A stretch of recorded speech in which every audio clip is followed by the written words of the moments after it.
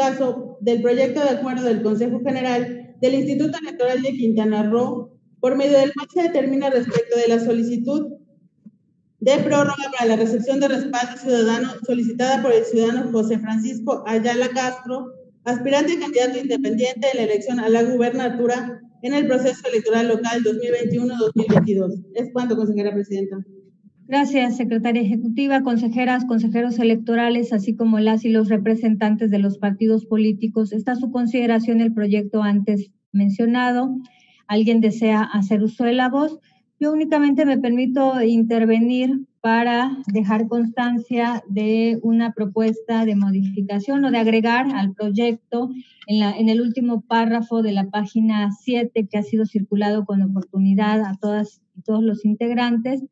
Eh, lo relacionado al, al, tema precisamente que trata en ese, en ese párrafo con el informe de actividades, estaría adicionando lo siguiente, toda vez que el informe forma parte de los requisitos para solicitar el registro a la candidatura que se llevará a cabo en el caso de, del estado de Quintana Roo del 18 al 22 de febrero y que en tal sentido eh, fue necesario acotar los días para la presentación de los informes, es eh, una de las razones por las cuales tampoco es posible establecer la prórroga en este eh, caso.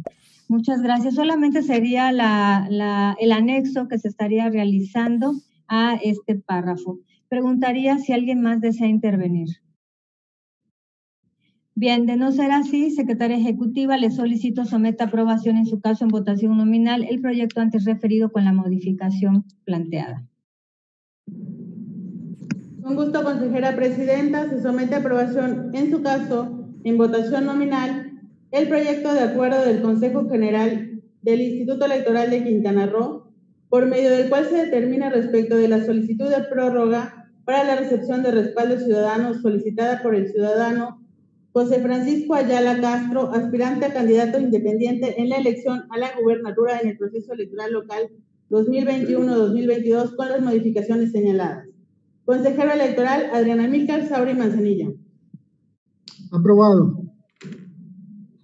Consejera electoral Elizabeth Arredondo Borosica.